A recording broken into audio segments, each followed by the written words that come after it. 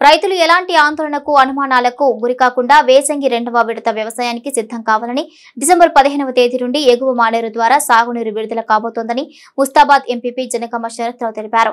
మండల కేంద్రంలో BRS party కార్యాలయంలో ఏర్పాటు చేసిన సమావేశంలో ఆయన మాట్లాడుతూ ప్రతి సంవత్సరం లాగానే ఈ సంవత్సరం కూడా డిసెంబర్ రెండో వారం నుండి ఎగువ మానేరు కాలువల ద్వారా నీటిని విడుదల చేస్తున్నామని కాళేశ్వరం ఎత్తిపోతల పథకం ద్వారా మానేరులోకి నీటి విడుదల కానున్నట్లుగా తెలిపారు. వేసవిలో సాగునీటికి ఇబ్బందులు కాకుండా ప్రణాళికలు సిద్ధం చేస్తామని అన్నదాతలు వరి నాట్లను వేసుకోవచ్చని తెలిపారు.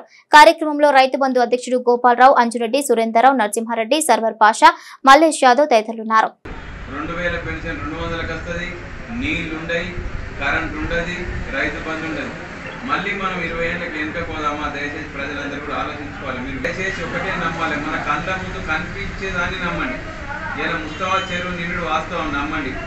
రైతుల ఖాతాల్లో రైతు బంధు పడుతుంది నమ్మండి. ఇలా వడ్లు బ్రహ్మాండంగా ధాన్య ప్రాసులు కనిపిస్తున్నాయి.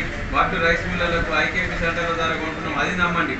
ఇలా మీ బిడ్డ పెళ్ళి అయితే లక్ష రూపాయలు డబ్బులు వచ్చి అది నమ్మండి. ఇలా అబద్ధాలు ప్రచారం ఎక్కువ ఉన్నాయి దయచేసి నమ్మకండి.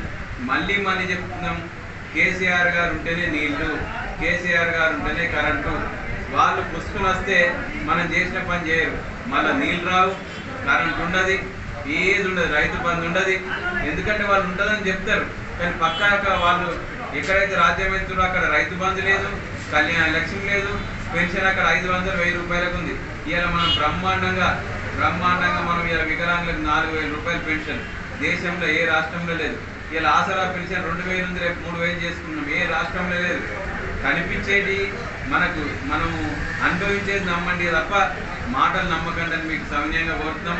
రైతులు అయితే చాలా సంతోషమే ఈ ధాన్యం రాసి చూస్తాము. మళ్ళీ కేసీఆర్ వస్తేనే ఇలా మనం రైతు బంధు చూస్తాము. కేసీఆర్ వస్తేనే చెట్లలో నీళ్ళు చూస్తాం. దయచేసి గమనించండి.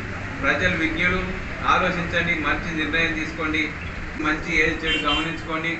మళ్ళీ మనం ఇరవై ఏళ్ళు ఎన్నుకోపోదామా? నడిచే అభివృద్ధిని ఇంకా ముందుకు తీసుకుపోదామా? ప్రజలందరూ కూడా గమనించాలని కోరుతున్నాం